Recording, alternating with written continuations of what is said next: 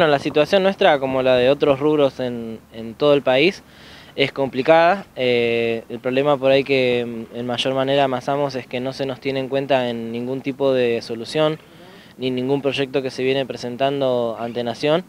Y bueno, queremos una respuesta porque ya hace un mes eh, ninguno de los colegas puede abrir, no hay una contemplación ni ningún tipo de ayuda y cada vez que buscamos información hay información cruzada que se termina dando mal y termina generando conflictos como el de ayer. ¿Qué van a hacer ahora acá en el COEM? Comentarnos. Eh, vamos a preguntar acá en el COEM a ver si la nota que presentamos el 8 eh, de este mes tiene algún tipo de respuesta, contemplación en cuanto a lo que las medidas de flexibilización que se van a tomar ahora. Nosotros en la nota que presentamos eh, sí hemos puesto hasta una suerte de protocolo que podemos mm, tomar para trabajar y también dejamos expreso de manera abierta que estamos abiertos a cualquier tipo de medida que se nos sugiera o se nos imponga por parte de salud para poder trabajar. Yo quería comentar mi punto de vista, este, que está todo eh, desorganizado, una y la otra que no son teléfonos descompuestos, porque bueno, yo presenté, eh, me inscribí en la página del gobierno para que me den el permiso, lo solicité, lo solicité y me lo dieron. Eh, bueno, y resulta que fui a abrir y ayer me cerraron el local. Así que, diciendo que el, permiso no era válido, cuando yo había llamado al 0800 de, gobierno, para, es más, para preguntar de nuevo a ver si, era válido mi permiso, me dijeron que sí, y viene la policía y me lo cierra de, mal manera.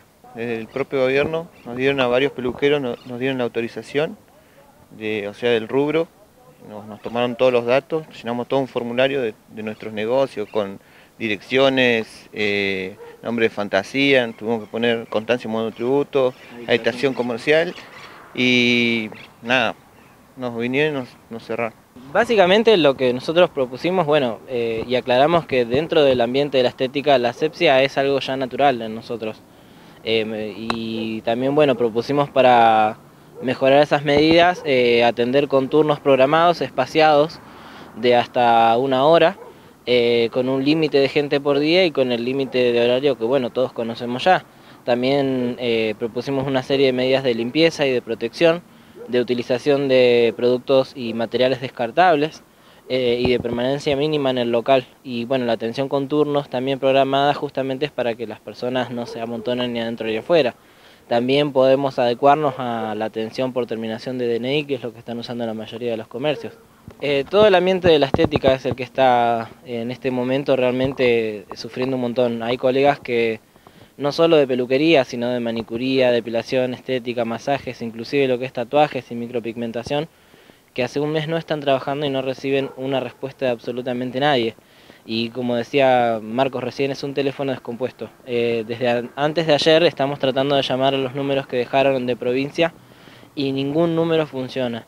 Hoy nos comunicamos con un 0800 que no tiene que ver con la página, nosotros creíamos que sí, al llamar nos dijeron que no, y ellos mismos también nos volvieron a decir que está todo colapsado ya y que no está funcionando absolutamente nada. El problema es que se nos pasan los días, hay alquileres que pagar, eh, hay que vivir el día a día como es parte de nuestro oficio, y los trabajadores de la estética no están teniendo absolutamente ningún tipo de ayuda ni de respuesta tampoco.